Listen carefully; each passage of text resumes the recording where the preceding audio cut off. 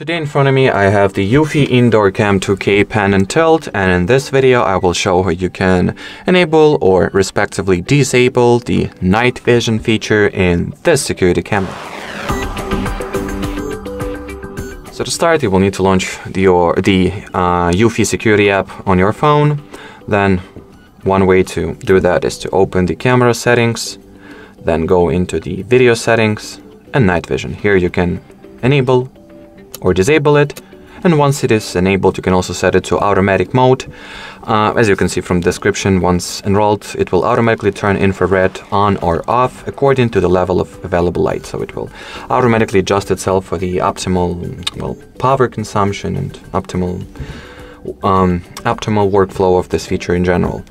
And well, uh, the night vision, as far as the feature itself goes, that will be it, but I also want in the end of this video I'll also want to show you an alternative way to uh, manage this feature without having to necessarily launch the camera settings. Just open your camera's feed.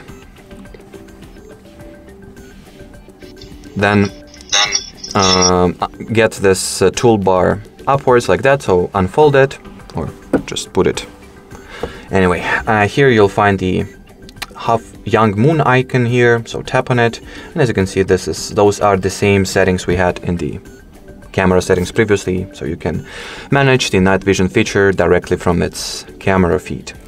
So that'll be it for this video. Thanks for watching thanks for your attention and bye bye